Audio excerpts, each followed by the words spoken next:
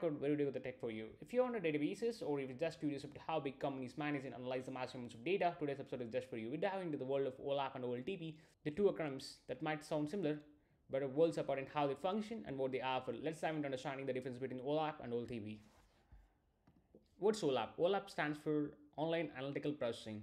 So OLAP is just like a magnifying glass for your data. It's designed for analyzing large volumes of data from different perspectives. OLAP databases are structured to support complex queries and data analysis. The key characteristics of OLAP are data storage.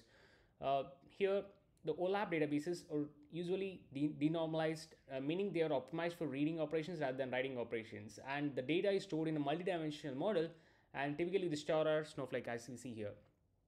The schema I meant. So on the next is the queries.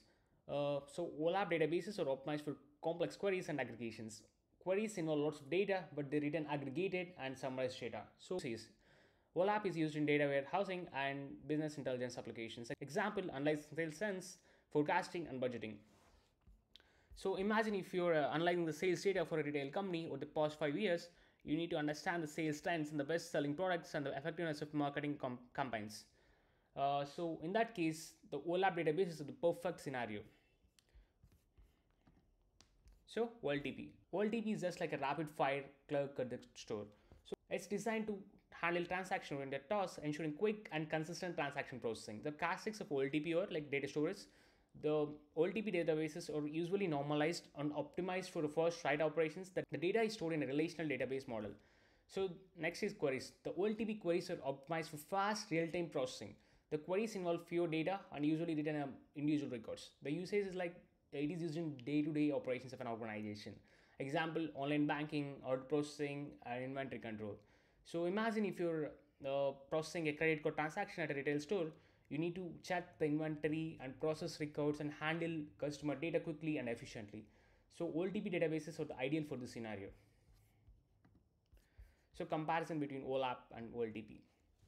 So with regards to the data storage aspect, we have the OLAP.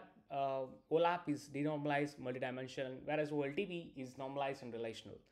So queries, um, here OLAP is co complex and aggregated data, and then OLTP is simple and individual records. And for uses, OLAP is used in data warehousing and business intelligence, and OLTP is used in day-to-day -day operations and transactionals.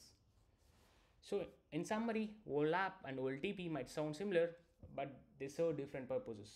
OLAP is like a deep dive into the data, analyzing it from various angles, while OLTP is all about quick, efficient transaction processing. So understanding the difference between these two is crucial for choosing the right database solution for your needs. So remember, OLAP is for digging deep, while OLTP is for quick and reliable transactions. Thank you for tuning into this episode of HackCode. If you found this video helpful, be to hit the thumbs up and subscribe to the channel for more coding tutorials and found comment tips. If you have any questions or topics, feel free to leave them in the comments below. Until next time, a day.